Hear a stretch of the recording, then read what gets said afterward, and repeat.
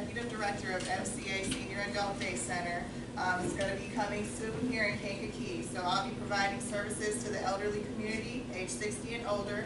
I'm going to provide medical services, social um, activities, meals, transportation, and um, just being that overall um, center to bridge the gap between the hospital and long-term care. So, uh, with that being said, a little bit about me getting to that journey. It's definitely been um, a struggle.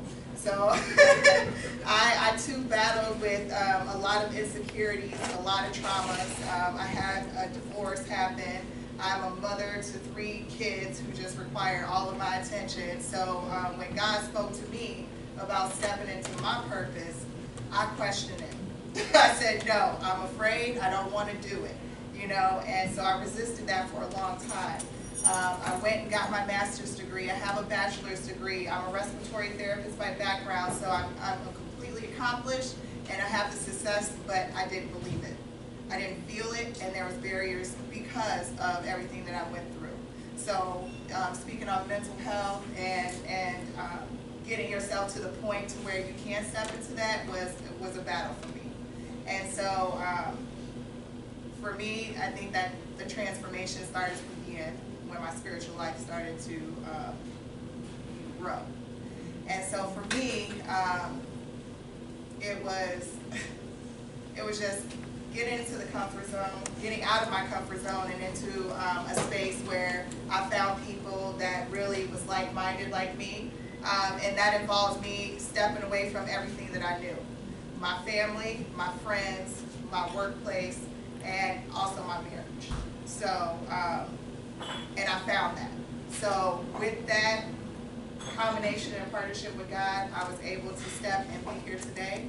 Uh, thanks to Sakara and Aaron, um, they've introduced me to so many people, Jeff, Mr. Hunt, Derek, Mr. Alford, and then also Mrs. Alford as well. So um, I just want to thank you guys for that opportunity. And then um, just trusting me with uh, the opportunity to host today. So. Um, Doing good.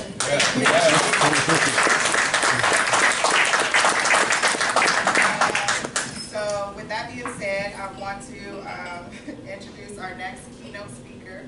Uh, It's an absolute honor to to be here with him today. Dr. Rodney Alford is not just a phenomenal doctor, but an extraordinary individual who has dedicated much of his expertise and time to the betterment of our community here.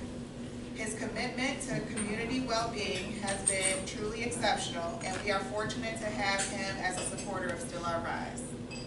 Since the inception date of our annual Healthy for the Holidays event in 2014, Dr. Alford has graced us with his presence as a keynote speaker. His insightful talks have not only educated and inspire- inspired us, but has also set the tone for a healthier and more informed community.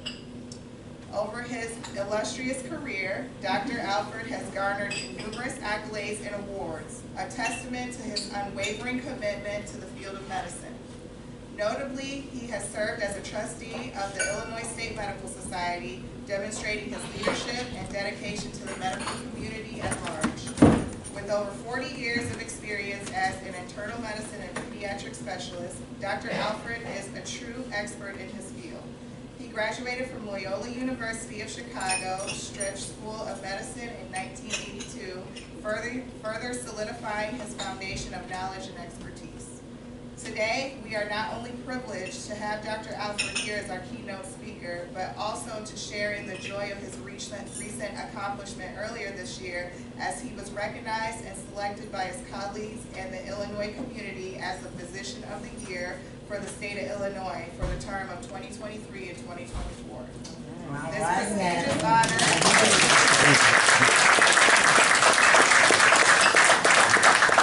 This prestigious honor speaks volumes about Dr. Alford's dedication to his profession and the impact he has made on the lives of those he has served.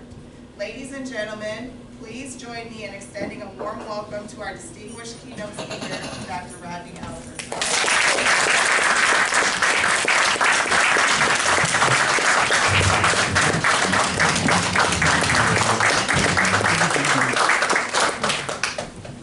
Wow. that was amazing. I had to check back back and say, well, boy, wait. That's you, you did it. Well, you know, and I, and I still feel like I'm still doing some things. I'm, I'm so excited to have an opportunity to talk to you all. Uh, you all don't know, I have more fun doing this than you all get out of this. I get much more out of this than you do. Um, I'm not sure, um, should, I hate to be in the way of people eating. Um, and I feel like I'm standing in the way of lunch right now. So I want to make my comments as short as possible so I don't, so I'm not the one holding you up from lunch. You know, is it, I'm okay, all right? So, and, and I do want to keep my comments as short as possible, but I want to make sure that, that you get something out of this. Um, you know, because for me, this is absolutely essential. Uh, Derek, man, you, you, you took it, man. I, I really appreciate what you said. Uh, it, it helped me. Um, and I know it helped some other folks here. Yes. I deal with the incarcerated right now. And many times they deal with issues that are, that are, you know, near and dear to what you just mentioned. Suicide is, is a big deal. It is really a big deal. You mentioned it also, Don, that, you know, that this is that time of year when we see the highest level of suicides for all kinds of reasons. Most times it's because they're not dealing with family issues, uh, family's not around, family is around. You know, and you're dealing with all kinds of other emotional things. You got sadness comes because you see everybody's happy and having joyful times, and, and you're feeling like, well, you know, I'm not feeling all that happy or joyful right now. Um, you know, I don't have everything I should have. I'm not the person I should be. All of these things come up. I was going to play a, a, a, um, a video if we had had the opportunity. We don't have it. Uh, I was going to also play the audio of some, some key speakers that I like to listen to, that I like to hear. Um, and one of them just happened to be, uh, you know, they call him hip hop, hip hop uh, preacher. Um, and he, he does some really, he says some really great things. Um, and my wife, you know, turned turned me on to to a lot of the things that um, that, that he says, and I, and I, to him a lot. Um, uh, oh, I was gonna tell, I was gonna tell him the name. Eric Thomas is his name. Uh, my wife was, and, and, and she did, she did, she got me started listening to some of those, some of those quotes. Uh, and, and, you know, and I, I wanna be, uh, that person, that speaker for people to just inspire and encourage, um, to do things that, that normally you don't think that you could do or would do. Uh, so how I'm gonna inspire you today is that I'm going to ask you a few questions, and if you can answer the questions properly, I'm going to reward you. Is that all right? Okay. Okay. See, somehow or another, that gets people to listen a little bit. Yeah.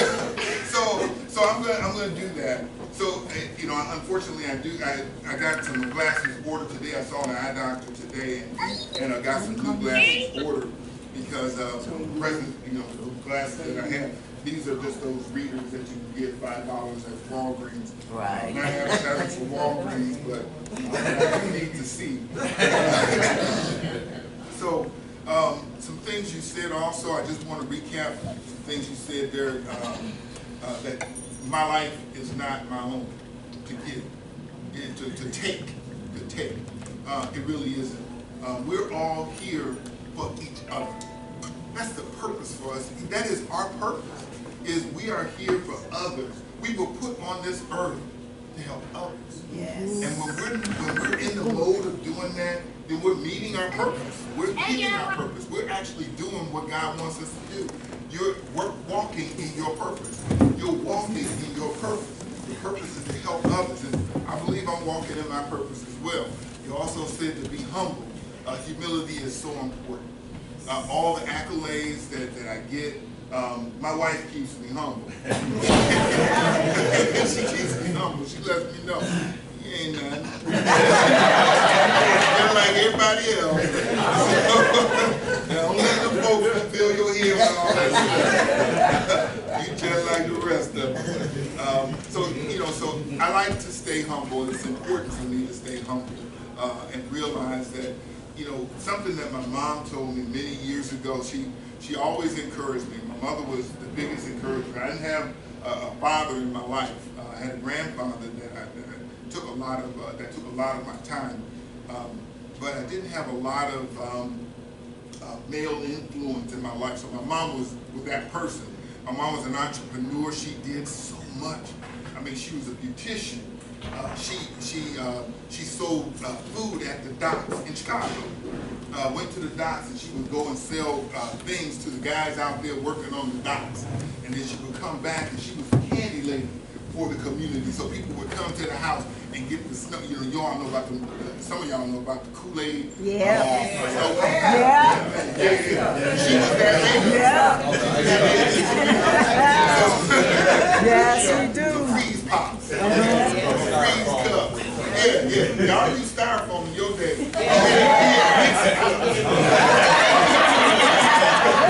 So, so my mom, she was an entrepreneur. She knew how to make, we were in the project, okay? But she knew how to make it happen by herself with six children. Wow. By herself. So I took a lot from her. She told me, I was the youngest of six, she told me uh, when I went to school, she said, um, uh, you know that you're representing your family. And so everything you do, everybody's watching you. Remember who you are when you get out of there. And remember when you get that doctorate, nobody can ever take that away. Yep, You will always be Dr. Alford. exactly. And so that, that stayed with me and made me realize that, yeah, I, I got a purpose, but not just to be a doctor, but to be someone that people can not only look up to, but people that I can help, and I can help bring up to the same kind of level. So for me, that, that was uh, very important. I I just want to take a moment out to recognize, um, you know, Aaron and Takara for the, for the work that you all have done. Uh, I am so proud of you all from the very Yes. beginning. Uh, I've been with you and I will always be with you. Uh, Right. Supporting you guys, lifting you up as you support and lift up this community. Yes. Uh, you are to be, uh, like, ac- give accolades to, please. Yes.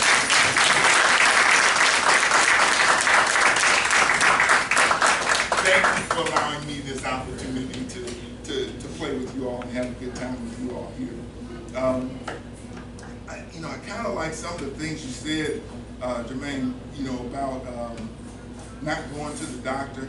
I always like when someone starts with. I do, um, because it gives me an opportunity to say, that's wrong. That's wrong. See, because what we think of going to the doctor, particularly as African Americans, and I think that's what we're talking here mostly, um, is, is what we think about healthcare is that we go to the doctor when we're sick. Instead of being preventative. Exactly. We don't think about preventive health. We don't think about the real purpose of the doctor is to keep you healthy, Yeah. not to make you better. Right. You are the one responsible for making yourself better. You go to the doctor to get the advice, to get the attention, to get the, the, the information Yes. that I've gained over the years, 40 years of practice in medicine. You think you might be able to learn a little bit of something? You uh, know, so I take it, I take, almost take offense when people say, I don't go to the doctor. I can figure that out myself. I know my body. Yeah. No, you don't. you will learn something about you, but you don't know your body. You haven't studied all the years that we had to study to get to 12 years of school after high school. Yeah. Okay? It takes a long time to learn what we learn. It is an insult to a doctor to say, I know what they can do. I know what's going on. I know my body. It's an insult because you can't possibly. That means that I spent 12 years of my life learning all of this stuff and you was able to figure it out in a 15 minute Google search. So, and I, I like to have fun with this because, I mean, when you think about it, it's like, it makes sense. That's kind of true. So, but, but it's true. Um, I believe in, in, uh, in when I'm doing any kind of talk that there's a little uh, class participation. So I'm going to ask you some questions. So I have my, my top 10 uh, tips for, for uh, healthy holidays. And I've done this a few times before in the past. I'm doing it a little bit different this time because I want to make sure that I'm that I'm, I'm new every time that I'm novel. I don't want to be boring. Um, so, question for all of y'all. First one, raise your hand. I'm gonna catch it. Okay. So, you ready? What's the most important meal of the day? Breakfast. You can raise your hand. Okay, breakfast. Give me, give me a hand.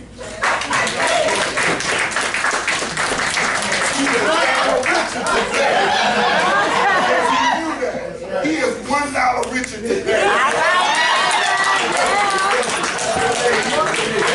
Ain't. I got two more questions you might get lunch.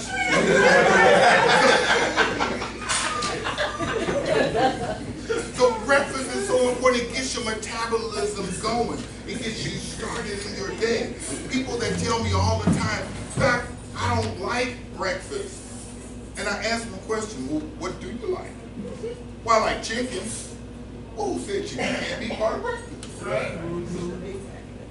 I, absolutely. I mean, there'd be some fried chicken on the table. There'd be some ham, some bacon, some grits, some rice maybe. Um, you know, some potatoes. All of that. I mean, can't tell me you don't like breakfast. I mean, you don't like food. And I don't know too many people living that don't like food. I love food. That's how I got the stature that I am. you don't get this big not eating. Would you agree? I would agree. Absolutely. You say you, you six three, two eighty. Okay, I'm six four, two something. I ain't telling. but but I, I do. I love to eat, but I love to cook. And I love to cook healthy food. My problem is I just eat too much of it. Yeah. But I do. I love portion control is my issue. I have a problem with that. But it does. It gets your, your um, metabolism started. Ask another question. Um, this is a little harder, but I believe y'all know it. Uh, when you hear the answer, you'll know it. What are the three macromolecules? Uh-huh, right, right. When I, when I tell you, you'll be like, how do that? The three macromolecules. Let me Google that real quick. I don't think too late. Nobody gets it. Put that down in my own pocket. Um, that's uh, carbohydrates, proteins, and fats. Y'all knew that. Y'all knew that. What y'all may not know is how important each of those things are. You need carbs. You need carbs, particularly at breakfast time, because those carbs are going to be important for you to get the function going. You know, it, it really gets your body going. It's, it's like that. It's like that energy stuff. It's that quick energy. And so you need to have carbs, and that's why at breakfast time we tend to have a lot of carbs. Think of carbs as this. If you think of if it's white, it's probably a carb. That's rice, potato, bread, bread, somebody said, um, corn. When you grind it up, guess what? It's white on the inside. Cornmeal, it's white for the most part. And, and those things that are white or, or usually we think of as white, uh, those are usually the carbs. Okay? So think about those things. The one thing that, that, that folks will always think about that's white that's not a carb is um, it, you know, it, it, it, it never it never fails. Uh, people think, yeah, that's that's white, but is it a carb? Anybody know what that is? Red. Cauliflower. I like to that one. There's plenty for me, don't worry about it. but cauliflower, uh, it's white, but it's not a carb. But most of the things that are white usually are carbs. Or if you, even if it's usually white, but we change it to different color, brown rice is a carb. Okay? Brown bread is still a carb. This is the healthier carb. This is a little healthier. So I don't want you to get fooled by, by saying, well, eat brown bread because you're not going to have to worry about the weight gain as much. It's not true. The same number of calories, same amount of carbs. It's just a healthier version. Uh, it's not bleached. Uh, so, so that's important. So those those proteins now, we talk about carbs, those proteins are mostly in the meats and sometimes in beans, in your legumes, we talk about. Um, so we need, we need to have protein. What are proteins good for? Building muscle, okay? Because that's what your muscle is made of. So you gotta have that. you gotta have that quick energy, you gotta have the muscle, but also you do have to have fat. That third ma- macromolecule, you gotta have fat. you just don't have to have that as much as we take. That's we take too much of it. And so our body does what to it? Stores it. And so we don't really want it because that is your, your energy that's stored. So the carbohydrates, quick energy, the fat is the stored energy so that if you haven't eaten for a while, you have something there to work off of. Okay, so, and guess what? If you eat a lot of carbs, you'll store a lot of it as fat. So that's why you have to be careful of the carbs because they're going to be stored as fats. Uh, proteins are not stored as fats. Okay, so uh, just so you know that. So that's number one. We, we hit number one. Okay, uh, number two in my 10 tips for healthy holidays, I said don't don't skip breakfast. That was number one. Number two is eat a smaller supper at an earlier time of the day. Okay, eat a smaller supper. So you know, do do do well at breakfast, lunch, yeah, whatever. And but supper, you want that to be a smaller meal of the day. It doesn't mean it shouldn't be varied. I mean, there's a lot of different things you can have. Supper, just a smaller portion. I listen to that one myself. I don't always. But also eating at an earlier time, 4.30, 5.30, that kind of time for your supper. Um, most of us, um, you know, go to bed, you know, somewhere between three and six hours after that. And so you should have enough time to kind of burn it off as the day goes on. That's, that's the reason you eat it fairly early, so you have an opportunity to actually burn it off, okay? And uh, how do you burn it off? Well, that's number three. Number three is exercise in evenings are better than exercise in the morning. Why is that? Because you've just eaten those carbs and whatever else, so the best time to burn it off is while it's not stored as fat. Fat is harder to burn off than carbs. And so you want to burn it off fairly early. So maybe an hour and a half to two hours after you've eaten that largest meal of the day, which tends to be, just, just telling all of y'all, tends to be the largest meal of the day. It shouldn't be, but that's what happens. But if you realize that and you know that that's really the best time to do your exercise uh, is about an hour and a half to two hours after you've eaten, chance to get into the system that you're going to burn off more doing that with less exercise than if you do that same exercise in the morning. Studies have shown that. It's very, it's very true. So if you're going to exercise, do I encourage you to do aerobic type exercises? Okay, because what's the most important muscle of your body? There you go. Heart in your hand.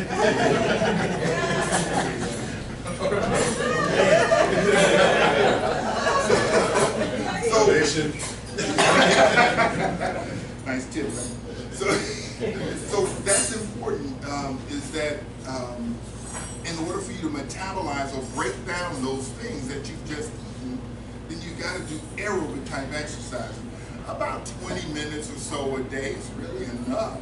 Um, if you at least do that much, a lot of people think, oh, I gotta put that hour in at the gym every, you know, every day. No, you don't. No, you don't. Not to stay healthy. No, you don't. And you can actually lose weight doing just that. Uh, so about 20 minutes a day, 30 minutes is really enough. It's really maximum, but every day. A lot of people say, well, I just exercise on Monday, Wednesday, and Friday. Well, you'll maintain whatever you're doing. You will maintain your weight at, at three times a week. Most folks don't need to maintain. Most folks need to, need to lose. So try to get it in every day. And if you miss a day, then just make sure you do the next. Uh, you know, I, I, I encourage you to uh, try to find a way you can get your exercise at home.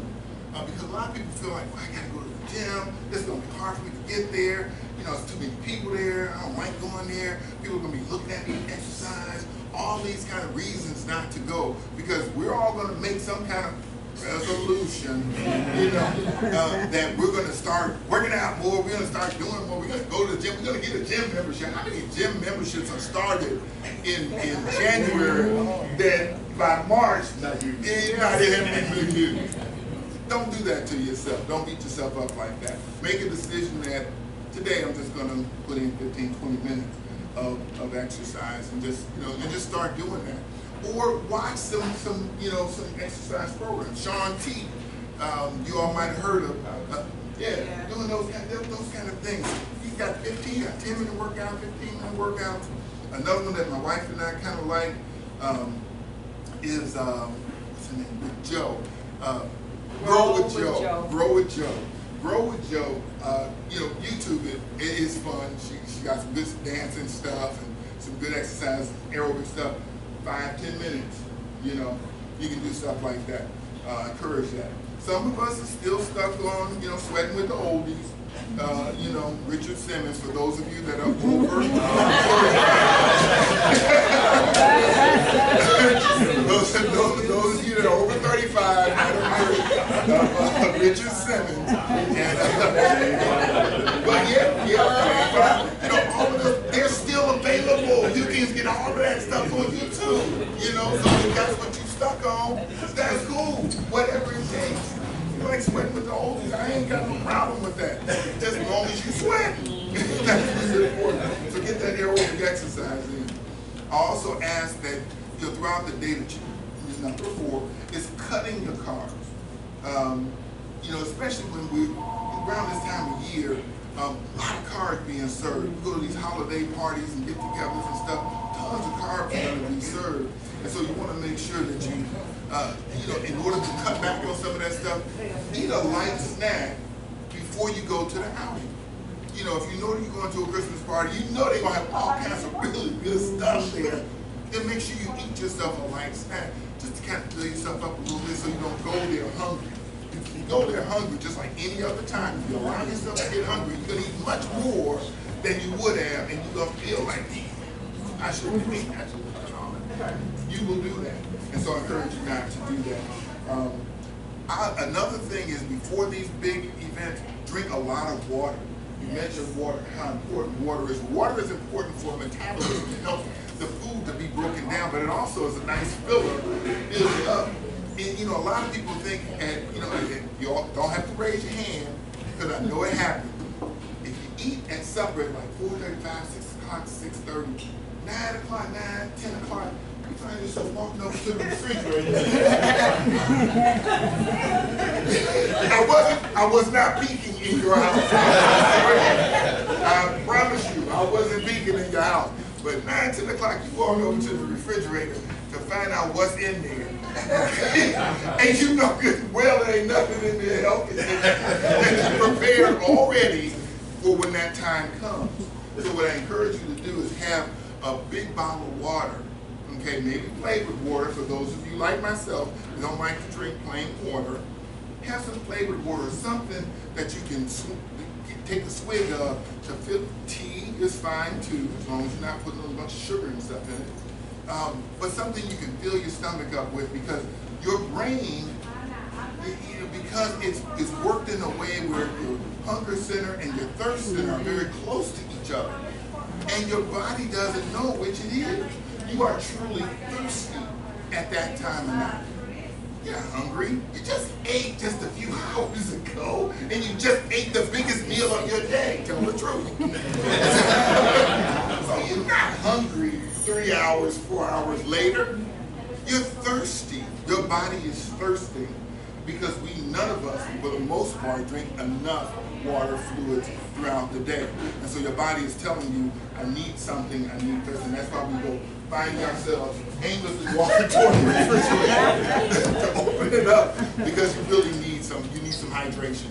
And so you should be hydrating yourself at that time. So uh, that's very, very important. Um, I, I encourage people during the holidays particularly, don't deprive yourself of the foods that you like. If you like banana pudding, sweet potato pie, these kind of things, make sure you get a little of that. Don't deprive yourself of those things. You just can't eat the whole pie. don't eat the whole thing. I mean, if you like bread pudding, that's cool. Get, cut you a little chunk, eat that, and be satisfied that, hey, I got some. Right. You know, because if you deny yourself of it, you're gonna crave it, and then when you finally get, get a chance, you're gonna eat too much of it. So don't yourself. But when you go to these holiday parties, there are all these different types of dessert. Don't feel like you gotta have every dessert right now that night. Take some home. You know, take some home. So in different containers, so that you can have one night, you can have this one, next night you can have that one. So you, so you actually can, you know, can, can not overdo it because it's easy to do that. Uh, number five, um, I, I'm just gonna ask a question. Ready? Does spirituality matter when it comes to being healthy? Yes. Yes. Okay, all of y'all, you know, give yourselves a dollar. Spirituality most definitely matters. There have been so many studies done that show that the people that are more spiritual, and I'm, and I'm saying this being very general, and you, you write it and not wanting to insult anyone's uh, uh, belief system, um, because there's so many different belief systems out there. I, I tend to believe what I believe is true. Um, and I believe, as you believe, that Christ is the answer. But other people may have other belief systems, and whatever that might be, they have found